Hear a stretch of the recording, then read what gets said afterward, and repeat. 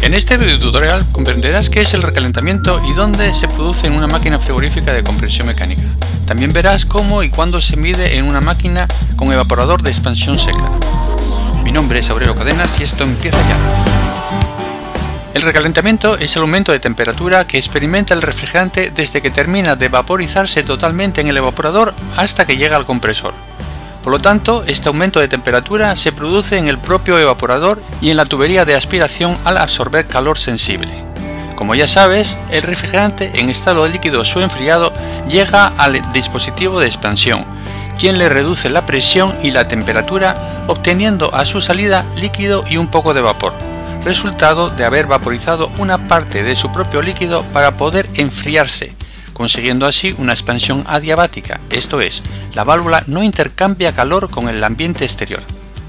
Por lo tanto, el refrigerante a la entrada del evaporador tiene la temperatura de saturación, en este ejemplo considero 4 grados centígrados, y comienza a circular por los tubos del evaporador, vaporizándose poco a poco por ebullición, aumentando la cantidad de refrigerante de vapor y disminuyendo la cantidad de refrigerante líquido hasta llegar a un punto donde todo el refrigerante se ha vaporizado totalmente, obteniendo vapor saturado.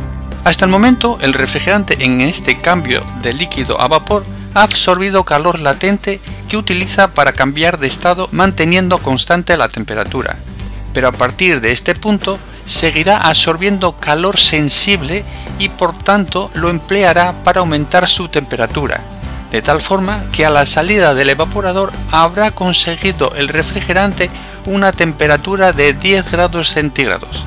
Así pues, se ha producido un recalentamiento, esto es, un aumento de temperatura en el evaporador de 6 grados centígrados, desde 4 hasta 10 grados. A partir de la salida del evaporador, el refrigerante en estado de vapor sobrecalentado continuará absorbiendo calor sensible en la tubería de aspiración del aire de ambiente hasta llegar al compresor, momento en el que su temperatura es de 12 grados centígrados. Así pues, se ha producido un recalentamiento en la tubería de aspiración de 2 grados centígrados, desde 10 grados hasta los 12 grados. En resumen, se habla de recalentamiento en la aspiración del compresor o recalentamiento total al aumento de temperatura que experimenta el refrigerante desde que termina de vaporizarse totalmente en el evaporador hasta que llega al compresor. Por otro lado, se habla de recalentamiento en el evaporador o recalentamiento útil al aumento de temperatura que experimenta el refrigerante desde que termina de vaporizarse en el evaporador hasta que sale de él. Los valores de recalentamiento en el evaporador para una máquina frigorífica varían según el tipo de válvula de expansión utilizada, ya que como se verá más adelante, es necesario que haya recalentamiento en el evaporador para que funcione correctamente la válvula de expansión. Se puede considerar aproximadamente que el recalentamiento en el evaporador deberá encontrarse en torno a los 7 grados centígrados para válvulas de expansión termostáticas y en torno a 3 grados centígrados para válvulas de expansión electrónicas. En cambio, los valores de recalentamiento en la entrada del compresor han de ser lo menor posibles, y esto va a depender de la longitud de la tubería de aspiración y cómo se haya realizado el aislamiento de dicha tubería como se verá más adelante. Como resumen, el refrigerante entra en el evaporador en estado bifásico, esto es, en estado líquido con una pequeña cantidad de vapor. Al circular por el interior de los tubos del evaporador se va evaporando a una temperatura de 4 grados centígrados hasta llegar a evaporarse completamente, 4V en el diagrama de presión entalpía que puedes ver en la imagen. Sin embargo, el refrigerante aún no ha salido del evaporador y continúa absorbiendo calor sensible aumentando de temperatura hasta que sale del evaporador a la temperatura de 7 grados centígrados, punto 5C.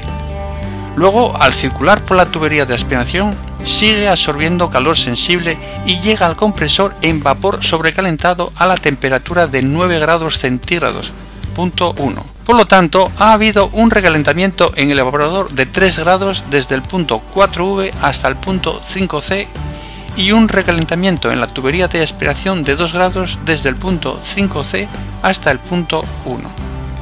Por lo tanto, para determinar el recalentamiento que se produce en el evaporador y que se denomina recalentamiento útil, debes realizar la diferencia entre la temperatura del refrigerante a la salida del evaporador y la temperatura de evaporación.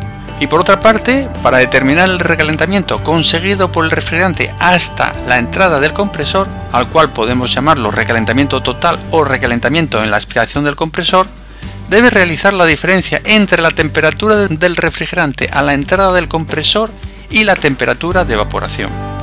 En la imagen aparece un manifold electrónico muy útil para medir el recalentamiento. Este tipo de instrumento te proporcionará directamente el valor del recalentamiento. Se muestra aquí para que entiendas que, aunque parece un concepto teórico, en la práctica se mide y que te va a permitir obtener conclusiones muy importantes sobre el funcionamiento de la máquina y una ayuda en la detección de averías. Como puedes ver, este manifold electrónico dispone de dos conectores para las ondas de temperatura y dos tomas para medir la presión, una para la presión de baja y otra para la presión de alta, así como otra toma de presión para servicio, como puede ser realizar carga de refrigerante a la máquina, realizar el vacío, etc. En la imagen puedes ver la instalación del manifold para conocer el recalentamiento en la aspiración del compresor. Observa que tiene instalada la sonda de temperatura en la tubería de aspiración a la entrada del compresor y la toma de presión, manguera azul, en la misma tubería de aspiración, pero lo más cerca del evaporador para medir su presión. Para la medida del recalentamiento en la aspiración del compresor, debes colocar la sonda en la aspiración del compresor y la toma de presión de baja lo más cerca posible del evaporador para medir así su presión. El manifold electrónico realiza la diferencia entre la temperatura medida por la sonda colocada a la entrada del compresor y la temperatura de evaporación, que como ves en la pantalla es de menos 3,2 grados centígrados obtenida al medir la presión de evaporación de 1,64 bares. Es evidente que para realizar la medida correcta tienes que haber elegido en el menú del propio manifold el refrigerante con el que trabajará la máquina. Tradicionalmente no se empleaban estos manifold electrónicos, sino que se utilizaban los puentes de manómetro de frigorista mecánicos para medida de presiones y temperaturas de saturación, que es también una forma más económica que el electrónico. Recuerda que el manómetro de frigorista incorpora escalas de temperatura para distintos refrigerantes, por lo que para una presión dada conoces la temperatura de saturación correspondiente, esto es, si mides la presión del evaporador, conocerás la temperatura a la que está evaporando. Así pues, cuando utilices manómetros mecánicos para medir recalentamientos, debes utilizar además un termómetro. En el esquema de la imagen te muestro cómo medir el recalentamiento en la máquina utilizando el método presión-temperatura. Este método consiste en utilizar un manómetro de frigorista para saber la temperatura de evaporación y un termómetro para medir la temperatura en la salida del evaporador o en la aspiración del compresor según qué recalentamiento quieras medir. Para medir el recalentamiento útil o recalentamiento en el evaporador, el manómetro de frigorista conectado en la tubería de aspiración mide la presión de aspiración y considerando despreciable la caída de presión en dicha tubería, estaré midiendo la presión de evaporación.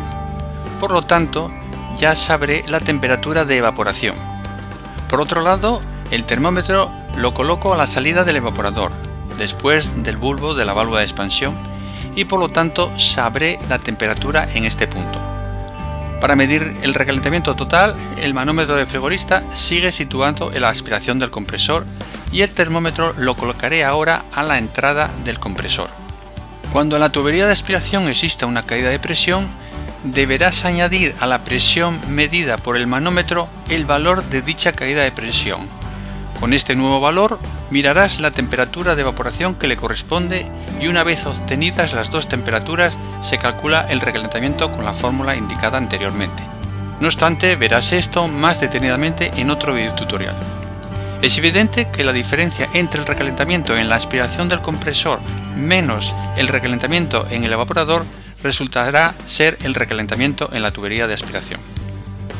Existe otra forma de medir el recalentamiento en una máquina utilizando el método de las dos temperaturas. Con este método se mide directamente las dos temperaturas implicadas en la definición de recalentamiento mediante el empleo del termómetro. Para medir la temperatura de evaporación colocarás el termómetro a la salida de la válvula de expansión o la entrada del evaporador. Para medir la temperatura a la salida del evaporador se mide igual que en el caso anterior, igual que para medir la temperatura a la entrada del compresor. Una vez conocidas las temperaturas, calcula su diferencia obteniendo el valor del resultado de recalentamiento según se trate.